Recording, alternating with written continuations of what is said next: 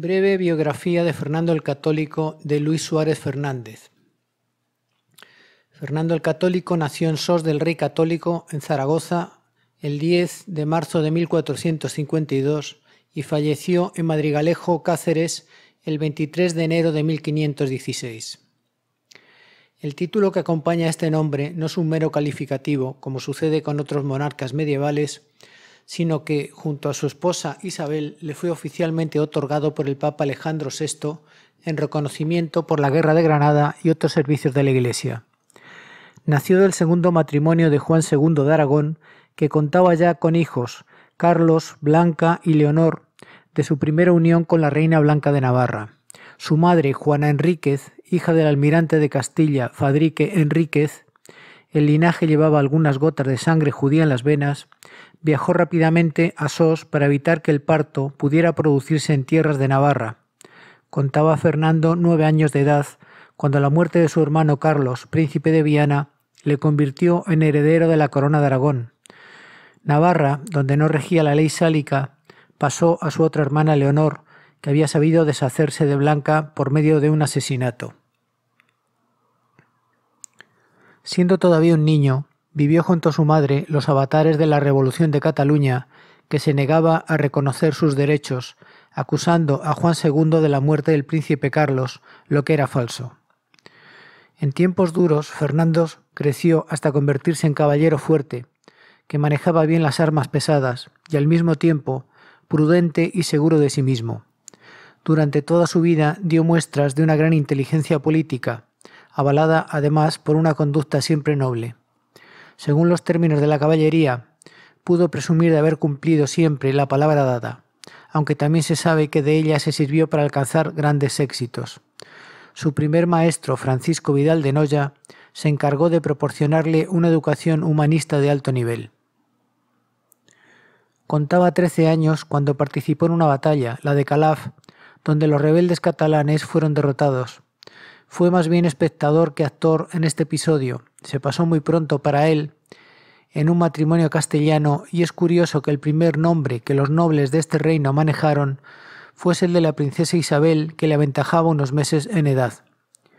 Tras la muerte de Alfonso, hermano de Enrique IV, algunos partidos castellanos a los que no les gustaba el gobierno femenino pensaron en él como solución al problema pero fue reconocida Isabel en 1468 en los pactos de Guisando, pensando el marqués de Villena que era un medio de casar a la infanta y a su rival, ambas en Portugal alejándolas.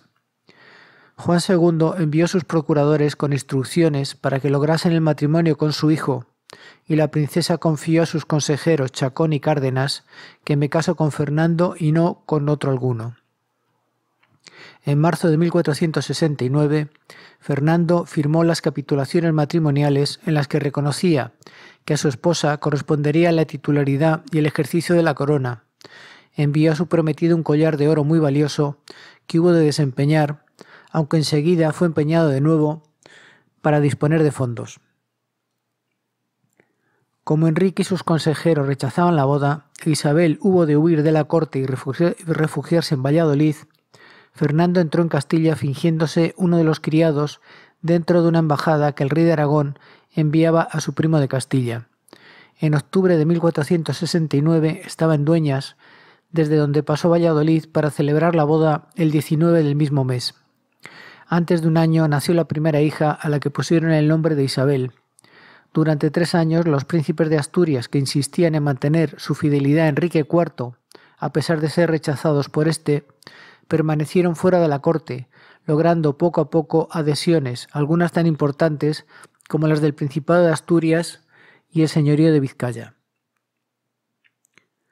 Finalmente, en las Navidades de 1473, hubo una reconciliación de Enrique IV con Isabel y en enero de ese mismo año Fernando pudo entrar en Segovia, recibir el abrazo de su cuñado y compartir con él un paseo por las calles de la ciudad, en el que participó también su esposa puede decirse que hubo un reconocimiento de su legitimidad.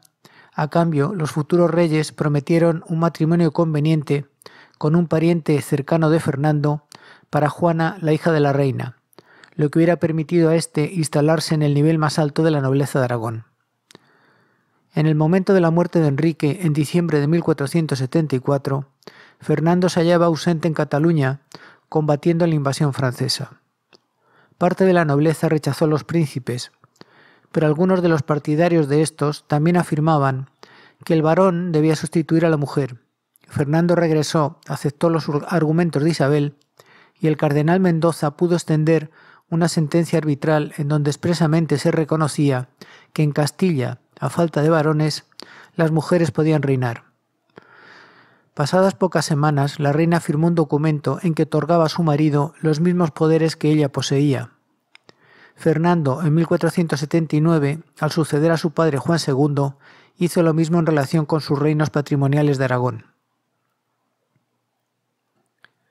El todavía joven rey desempeñó un papel decisivo en la Guerra de Sucesión, en la que supo tratar a sus oponentes como adversarios más que como enemigos, procurando sobre todo establecer acuerdos que permitiesen afirmar los poderes de la monarquía. En la primera fase de la misma, cuando los portugueses se apoderaron de Toro y Zamora en 1475, efectuó ya operaciones brillantes, destacando de un modo especial el rescate de la fortaleza de Burgos. En marzo de 1476 tomó parte personalmente en la decisiva victoria de Toro y al mismo tiempo en el rescate de esta ciudad y de Zamora, liquidando de este modo la contienda interior. Quedaban abiertas hostilidades en la frontera de Portugal y en la de Francia. Sin que faltasen las reticencias, todos los linajes castellanos reconocieron su legitimidad. Coincidiendo en todo con su esposa, es muy difícil separar las acciones de ambos, Fernando liquidó la guerra sin ejercer represalias. A los nobles se les garantizó su estatus social y el montante global de sus rentas, aun en aquellos casos en que era imprescindible hacer reajustes por las confiscaciones y embargos de la época de Enrique IV. Por ejemplo, los Estúñiga, que tuvieron, eh, tuvieron que devolver a Arévalo arrebatada la madre de Isabel, recibieron Plasencia que rentaba más. No intervino en la negociación con Portugal porque hubo de acudir a Cataluña para tomar su herencia pero confirmó y respaldó todos los acuerdos establecidos por Isabel y los cumplió al pie de la letra. En Cataluña supo establecer la paz entre los dos partidos, Buscaires y Vigaires, y sirviéndose de la colaboración de aquellos dirigentes que antes habían combatido a su padre, la forma de Estado asumida por la Corona de Aragón, unión de reinos, fue mantenida, sumándose a ella Castilla, aunque nunca disimuló Fernando el papel predominante que otorgaba a ésta, a la que a veces llamó mi ventura. Mientras Isabel escogía como emblema las flechas, símbolo de dicha unión y con un nombre que empezaba con fe como el de su marido, éste recurría a los servicios de Nebrija, el cual recomendó el yugo. Isabel se escribía entonces con Y, sobre el que estaba el nudo gordiano que Alejandro Magno cortó con su espada diciendo tanto monta, es decir, da lo mismo. Entre 1482 y 1492, la vida de Fernando estuvo sobre todo dedicada a la Guerra de Granada.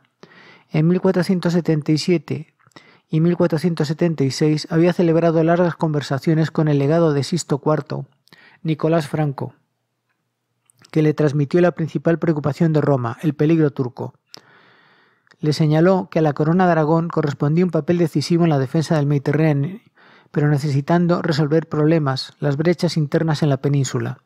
Granada, judíos y conversos. Por eso, al instalarse la Inquisición, Fernando contribuyó a dotarla del apoyo del Estado. Cuando los turcos desembocaron en Otranto, se envió una flota para expulsarlos de allí. Malta fue una de las preocupaciones fundamentales. Asumiendo los planes de su abuelo, cuyo nombre llevaba, concibió la guerra de Granada como una batalla de desgaste en la que iba tomando una a una las ciudades a cuyos habitantes ofrecía capitulación. Solo Málaga apuró la resistencia y sus moradores fueron reducidos a la esclavitud, aunque liberándolos después mediante el pago de un rescate. Los mismos términos se ofrecieron a Boabdil en 1485, que se limitara a gobernar una reserva musulmana no demasiado extensa y sin puertos de mar los musulmanes desconfiaron y prefirieron continuar la guerra. En 1486 Fernando estuvo a punto de suspender las hostilidades a fin de recobrar el Rosellón que Luis XI en su testamento había ordenado restituir. Isabel impuso entonces su criterio de continuidad por medio de la convicción y no de otra forma. Desde 1487, tomada Málaga, la guerra entraba en fase de liquidación y Fernando pasaba a ser el más brillante de los reyes europeos. Se mostró extraordinariamente generoso con Boabdil y sus cortesanos, incluso aquellos que rechazaron la demanda de conversión. Colaborando en todo con Isabel, que llegó a decir de él que había sido el mejor rey de España, hay que destacar sobre todo el papel que desempeñó en las tareas de reconstrucción del poder monárquico ejecutadas durante las Cortes de Toledo de 1480 sobresalen tres aspectos. El establecimiento de la hermandad, que transfería a las ciudades la ayuda económica de las Cortes a fin de que pudieran establecer una policía interior de gran alcance, la estabilización económica que permitió mantener el poder adquisitivo de la dobla durante todo el reinado y las reformas constitucionales que las mencionadas Cortes de Toledo acordaron. No cabe duda de que el modelo estructural de la Corona de Aragón influyó mucho en estas reformas. Por otra parte, resolvió definitivamente el problema de los remensas de Cataluña, convirtiendo a los antiguos siervos en pequeños propietarios con indemnización de los antiguos dueños, y garantizó a todos los súbditos cristianos bautizados la libertad. Hoy se sabe que hubo ciertas disyunciones entre él y su esposa en dos asuntos. La Inquisición, regida ahora por Torquemada, a quien Fernando no había querido recibir, reclamó la prohibición del judaísmo, pues era un contrasentido que se castigase a los conversos por celebrar ritos que sus parientes no bautizados ejercían dentro de la ley. Fernando, que se movía dentro de coordenadas políticas, partiendo del hecho de que toda Europa prácticamente prohibía tales ritos, se inclinó a aceptar la propuesta. Isabel, como se sabe ahora por los estudios de Netanyahu, trató de ganar tiempo, pero no lo consiguió, y desde 1492 se, decretó la salida de cuantos se negaron a bautizarse. Desde 1500 se aplicó el mismo criterio a los musulmanes. En el caso de Colón, Fernando se mostró opuesto a los proyectos del navegante, fiándose de los análisis hechos por los doctores universitarios que juzgaban con razón irrealizable la empresa. Por otra parte, entendía que Colón pedía poderes y funciones que eran excesivas y peligrosas, pero Isabel alegó que valía la pena correr el riesgo de enviar una flota, sin demasiado coste, a explorar el Atlántico. Esta vez Fernando cedió, firmó las capitulaciones y pudo recibir luego al descubridor y su puñado de indios en el Salón de Ciento de Barcelona. No se equivocó en un punto. Los poderes otorgados eran excesivos y por ello Colón causó daños aunque no lo pretendiera. Según Ángel Ferrari, el monarca aragonés inauguró en España una política moderna. Era demasiado pronto para que se pusiera el acento en América, cuya existencia como continente era aún desconocida. Fernando pretendía cerrar bien el Mediterráneo occidental al convertirlo en dominio económico y político de España, tarea posible al disponer de los recursos castellanos muy elevados hizo en Tordesillas importantes concesiones a Portugal en el Atlántico, que permitirían a este reino instalarse en el Brasil a cambio de disponer de una franja del litoral sahariano, el reino de Butata, hacia los caminos del oro, y toda la costa de Berbería, desde el río Muluya en adelante. Aquí es donde, en 1497, pudo instalar el primer bastión, Melilla, levantado sobre una tierra sin dueño, aunque contando con la colaboración de algunas tribus berberiscas de la zona. Pero en 1493 el nuevo rey de Francia, Carlos VIII, reivindicó para sí la herencia de la Casa de Anjou sobre Nápoles. Fernando II había establecido alianzas en Inglaterra con Enrique VII Tudor y en los Países Bajos con Maximiliano de Habsburgo, a fin de asegurarse las comunicaciones marítimas de las que dependía la prosperidad castellana, y rodear a Francia de posibles enemigos que reivindicaban como él tierras que fueran de su patrimonio. Carlos decidió entonces devolver a Fernando el Rosellón por el Tratado de Barcelona, indemnizar a Enrique VII y llegar a un acuerdo con Maximiliano y su hijo Felipe, que se preparaba por un patrimonio para un matrimonio español, creyendo tener las manos libres. Luego reclamó Nápoles, donde reinaba un bastardo de Alfonso V, Fernando, primo del monarca aragonés pero Nápoles era vasallo de la Santa Sede, en la que se hallaba ahora instalado un valenciano, Rodrigo Borja, el Papa Alejandro VI, Cuando los franceses invadieron Italia, quebrando con facilidad la resistencia, Fernando alegó primero que era el Papa quien debía tomar la decisión y segundo que a él podían corresponder derechos como sobrino legítimo de Alfonso V, el último rey. Formó una Liga Santa a la que se incorporaron también sus aliados, y en Atella derrotó a los franceses, demostrando que aquellas tropas que contaban con la experiencia de Granada y un experto general, Gonzalo de Córdoba, a quien los italianos llamaron el Gran Capitán, estaban preparadas para invertir el arte de la guerra. Carlos VIII murió antes de que se hubiese resuelto el problema y se restablecieron las comunicaciones que ambos reinos necesitaban. Su sucesor Luis XII, que por su matrimonio pudo instalarse en Milán, propuso entonces un arreglo dividir Nápoles, cediendo a Fernando I las provincias de Apulia y Calabria, que enriquecían Sicilia, por el Tratado de Granada de septiembre de 1500. De nuevo parecía Francia el reino más fuerte de Europa. Don Fernando había conseguido su objetivo de cerrar el Mediterráneo occidental y se preparaba para instalarse en Gerba y en el norte de África. Mientras tanto, por medio de matrimonio, según era norma de los Trastámara, Fernando había conseguido convertir sus tratados de amistad en un sistema de alianzas. El más valioso, Portugal. En 1497, Isabel, la primogénita, viuda del príncipe Alfonso, contrajo matrimonio con Manuel, primo de éste, que había sucedido a Juan II en el trono. Casi al mismo tiempo, Juan, príncipe de Asturias, y su hermana Juana se casaban con Margarita de Austria y Felipe respectivamente y Catalina viajaba hacia Inglaterra para convertirse en la esposa del príncipe de Gales, primero Arturo, luego Enrique, que llegó a ser rey. Pronto nacieron dos nietos varones, Miguel de Portugal y Carlos de Borgoña, destinado este a ser el emperador Carlos V. El reparto de Nápoles fracasó. Sin unidad territorial y rentas comunes se generaba un nuevo déficit. Así los franceses reanudaron, las hostilidades contando con que su superioridad les aseguraría la victoria. Gonzalo Fernández volvió a Italia y en Barletta y las victorias de Ceriñola y Garellano forjó una fama que se mantuvo hasta 1635. La infantería española era reina de las batallas. Luis XII no tuvo más remedio que concertar una tregua, dejando Nápoles bajo ocupación hispana, y en el aire el posible destino político de este reino la llegada de Julio II al trono modificaba mucho las cosas. Antes de que llegara a tener un hijo, el príncipe Juan murió en 1497. Al año siguiente sucedió lo mismo con Isabel, la mayor, y los derechos pasaron a un hijo, Miguel, que fue criado en Granada, pero murió en 1500.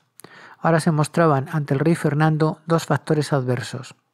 Por una parte, la legitimidad pasaba a Juana y a su marido, las relaciones entre ambos cónyuges eran tormentosas.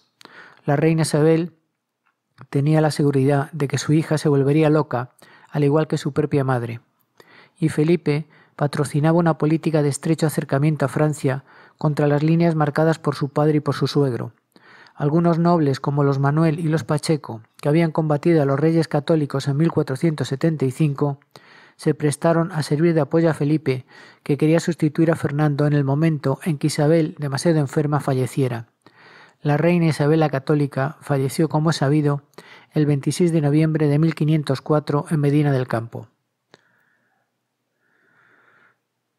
Previamente informada por sus embajadores de la situación, añadió a su testamento un codicilo en el cual disponía que si Juana estaba ausente, renunciaba por sí misma o era incapacitada, Fernando y no Felipe debía tomar las riendas del poder.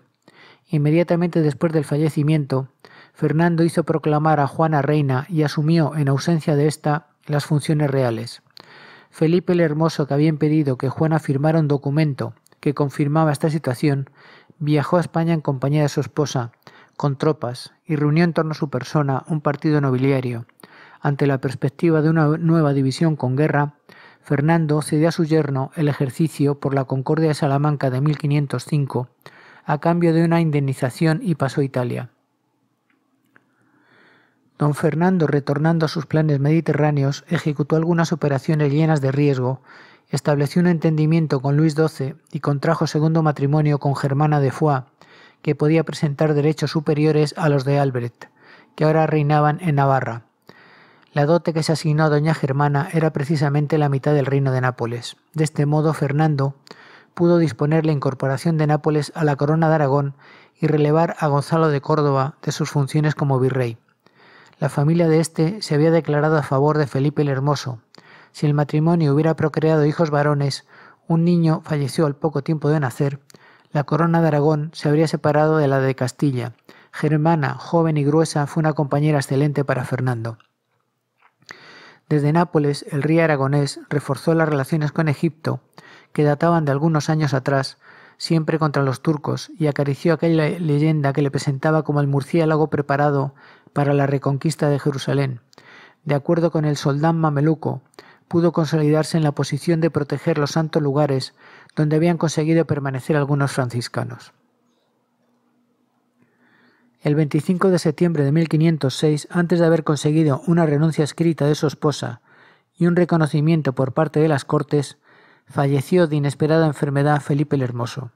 Cisneros y el segundo duque de Alba apoyaron la postura de Juana, que escribió a su padre para que viniera a hacerse cargo del gobierno. Sin prisa, don Fernando emprendió el retorno a fin de asumir la regencia del niño Carlos, a quien todos los reinos españoles habían aceptado. En vida de Isabel, había compartido con ésta un proyecto que quedó en el vacío, dividir la herencia dejando a Carlos todos los dominios que fueran de Maximiliano, y la monarquía hispana entregarla a un segundo nieto, que por esta razón fue llamado Fernando, una idea sin contacto alguno con la realidad. Durante nueve años, retirada Juana al convento de las Clarisas de Tordesillas, donde fue cariñosamente visitada por Germana de Foix, Fernando ejerció las funciones de rey de Castilla, contando con el apoyo de los más fuertes sectores de la nobleza, y especialmente de Cisneros, arzobispo de Toledo, y del duque de Alba, Fadrique Álvarez de Toledo. Había celebrado una entrevista con Luis XII en el viaje de regreso, de modo que parecía contar con una paz en la frontera norte. Comenzó disolviendo sin miramientos al que cabría considerar partido flamenco, y dejó a Gonzalo Fernández de Córdoba en sus señoríos andaluces, utilizando en cambio los servicios de sus grandes jefes militares como Pedro Navarro. Ahora parecía posible cerrar el terreno también por medio del litoral africano. Cisneros, que sigue viviendo con la modestia de un fraile, puso a disposición del rey los cuantiosos recursos de su diócesis y llegó a participar directamente en las operaciones. La meta era conquistar o someter a protectorado todos los puertos que formaban la berbería de Levante, Fernando reunió una junta en Burgos para analizar los malos resultados de la primera etapa de América, planteando la disyuntiva entre abandonarla o continuarla. Los consejeros, especialmente los eclesiásticos, impusieron la continuación. Solo la corona podía controlar los desmanes, ya que los viajes con ella o sin ella iban a continuar. El rey aceptó, pero es absolutamente cierto que permaneció al margen de esos horizontes y preocupado especialmente por ejecutar la incorporación definitiva de Nápoles a la corona de Aragón, dentro de la cual permaneció hasta principios del siglo XVIII. Para los tratadistas italianos que anteceden a Campanella, esa corona a la que se sumaba ya indeleblemente Castilla era una monarquía católica. Todos los súbditos tenían reconocido el estatus de libertad, si bien éste se hallaba indisolublemente vinculado al bautismo. Seguía habiendo esclavos adscritos siempre al servicio doméstico, y el propio rey e incluso el papa poseía algunos, pero se trataba de mercancía adquirida fuera, especialmente prisioneros de las guerras tribales africanas que sus propios jefes vendían. Los comerciantes y propietarios justificaban esta línea de conducta, alegando que al comprarlos salvaban su vida, ya que pasado un plazo y habida cuenta de que costaba mantenerlos, les daban muerte. Eso no justificaba los usos. La mayor parte de los esclavos venidos de África pasaban luego a los mercados musulmanes, donde la esclavitud desempeñaba un papel económico. Muchos españoles capturados en mar o tierra por los berberiscos padecieron la esclavitud, de ahí que se establecieran congregaciones religiosas para proceder a su rescate. Estas circunstancias deben tenerse en cuenta para comprender la gran obra fallida de Fernando el Católico, se trataba de cerrar todo el Mediterráneo occidental en el círculo que formaba un litoral cristiano. Maniobró hábilmente hasta conseguir una especie de reconciliación entre venecianos, aliados de Cataluña, y genoveses que lo eran y muy estrechos de Castilla. Por esta vía se esperaba garantizar las comunicaciones mercantiles tan afectadas y dañadas por la piratería. En 1509, con los recursos reunidos, Pedro Navarro culminó una gran operación de guerra conquistando Orán. El entusiasmo prendió en las cortes aragonesas, que por primera vez se mostraron dispuestas a otorgar una muy generosa ayuda, ya que de este modo se completaba la obra iniciada en 1282. Túnez y Argel entraron también en el ámbito de las buenas relaciones que pueden calificarse de protectorado. Al año siguiente se organizó la gran expedición que debía completar el cierre a los turcos, ocupando la isla de Yerba. Frente al litoral libio se contaba para ello con buena voluntad del jeque, dispuesto a someterse. El mando de la expedición fue encomendado a un hijo del duque de Alba, llamado García Álvarez de Toledo. Los otomanos reaccionaron y la expedición terminó en doloroso fracaso, al que los escritores de la época se refieren como el desastre de los Yelves. De nuevo el enfrentamiento con Francia impidió, como en 1493, que se continuase el programa. Los acuerdos con Luis XII parecían garantizar un statu quo que dividía la, dividía la península italiana en tres sectores, el norte, dirigido desde Milán, pero incluyendo en cierto modo Génova, quedaría bajo el mando galo. El sur sería de dominio hispano, contando con tres puntos de apoyo esenciales, Cerdeña, Sicilia y Nápoles, y en medio quedaban los estados pontificios y Florencia, que era la banca de los Medici. Parecía haberse restablecido el equilibrio de la paz de Lodi. Pero Luis XII, ahora duque de Milán, protestó de los afanes expansionistas de Venecia, que consideraba un peligro para sus dominios italianos, y solicitó en 1508 de sus ahora amigos Maximiliano de Habsburgo y Fernando de Aragón la constitución de una liga que quedó concertada en las religiones de Cambrai para impedir a la Serenísima continuar con su política de expansión. El Papa Julio II, es decir, Julio de Le Rovere, que en tiempos fue pro-francés, protestó. Amenazar a Venecia era tanto como fortalecer el dominio de Italia por los bárbari. Él aspiraba también a ampliar los estados pontificios. Fernando se separó entonces de la Liga, alegando que, como siempre, consideraba la obediencia al Papa el primero de sus deberes. Francia respondió en sentido contrario, resucitando las viejas tesis de superioridad del concilio sobre el Papa. Luis XII pudo reunir en Pisa una asamblea que se dio, se dio a sí misma tal nombre y preparó el juicio contra Julio II. Fernando de Aragón hubo de volver al enfrentamiento con Francia. Puso en pie una nueva liga que se llamó Santísima porque defendía las prerrogativas del vicario de Cristo, y en ella entraron su consuegro Maximiliano y su yerno Enrique VIII de Inglaterra. Francia disponía de mejores tropas, a cuyo frente se hallaba un hermano de Germana de Foix, el duque de Nemours, que logró la brillante victoria de Rávena sobre los aliados. Pero en esta batalla perdió la vida. Luis XII había reconocido los derechos de esta rama de los Foix sobre el patrimonio del linaje que ostentaban los Albret, Ahora esos derechos pasaban a la reina de Aragón. Los reyes de Navarra, Catalina y Juan de Albret, habían suscrito un acuerdo con Fernando para prohibir el paso de tropas francesas por su territorio, pero por encima de reyes eran los opulentos señores que residían en Pau en calidad de vasallos de Luis XII. Al estallar la guerra, éste les exigió obediencia y pasó para con su ejército. Los Albret tenían forzosamente que elegir entre los dos bandos y con cierta lógica escogieron el francés, ya que de él obtenían sus principales rentas y poder. Pero Navarra era España, y así lo pensaba la mayoría de los navarros. Don Fernando ordenó al duque de Alba que tomara posesión del reino, y las cortes del mismo acordaron negociar la incorporación. De modo que la entrada de Navarra en la corona de Castilla fue efecto de una negociación. Conservaba sus cortes, su fuero y las instituciones capaces de mejorarlo. Fue el último gran éxito de Fernando el Católico. Nunca pudieron los franceses enmendarle la plana. Mientras tanto, se había producido la muerte de Julio II. Las fuertes tensiones suscitadas por la sucesión concluyeron con la elección de un Medici que tomó el nombre de León X y anteponía los objetivos políticos y familiares a los de la tiara, Inmediatamente confirmó la Liga, otorgándole sus bendiciones. Crecía el poder de los Habsburgo. Atacados en todos los frentes, sufrieron los franceses derrotas en Novara y Vicenza, que confirmaba la superioridad militar española. De este modo, Fernando de Aragón completaba la primera parte de su programa, hacer de su corona la dueña del Tirreno, dejando para sus sucesores la segunda, es decir, el dominio del litoral africano. Muerto Luis XII, su sucesor, Francisco I, comenzó a preparar todos sus recursos para una nueva ofensiva que ya no afectó a Fernando de Aragón, pues este murió en Madrigalejo, cerca de Cáceres, el 23 de enero de 1516.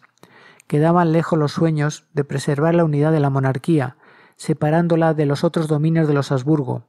Vivía Juana y el hijo de ésta, Carlos, que cumplía entonces 16 años, fue jurado rey, encargándose Cisneros nuevamente de la regencia.